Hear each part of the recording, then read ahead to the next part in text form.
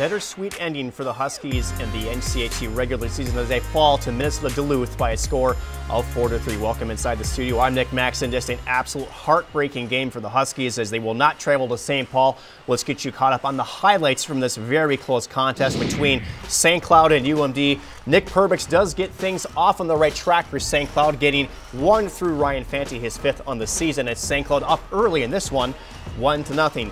Matt Anderson, however, would make a great defensive play early in the first period as St. Cloud moves the puck around the perimeter and then a last second sweeping poke check with the stick keeps St. Cloud's lead only at one.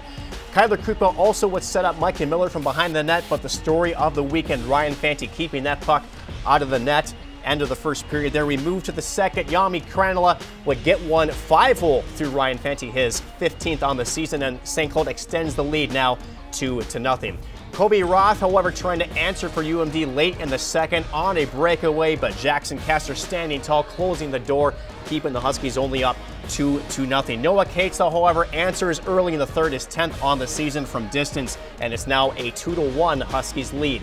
Dominic James, however, would also tie it on a power play goal left all along on the side of the post. It's now 2 to 2 here midway through the third. Nick Perbix, however, having a great game. He would add to the Huskies to get them up 3 to 2. That would break the tie and Huskies much needed momentum. However, it would be short-lived as Matt Anderson, a CNI shot, would get through Jaxon Castor, never sees the